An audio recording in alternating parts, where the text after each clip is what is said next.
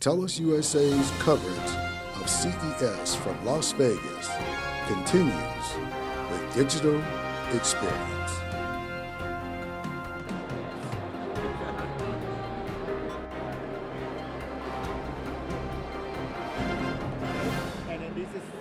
My name is Ilya Vensky and I'm a co-founder of AO Air.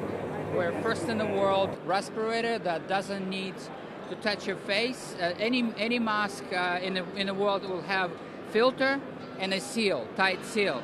That's why you don't see uh, firefighters with a beard because you need a seal. So we created the first in the world respirator that is effectively a shield uh, that doesn't touch your face. We have molecular design filters that pushes the clean air behind the shield and as the excess air leaves, nothing come back. That's the kind of main principle. It's a smart balance and it's a lower body rehabilitation device that utilizes the game contents, mainly targeting stroke survivors. And you see smart glove here, and like this is actually used by thousands of Americans, like in the United States, you know, like for stroke rehabilitation at home. And the way we do is like we come up with the uh, clinic version first, and then we go into home. Like after learning more about you know patient's behavior, and then you know like all the uh, like you know like validation process of hypothesis and data. This is Roybi It's an educational robot for kids aged 3 to 7 in language learning and basic STEM.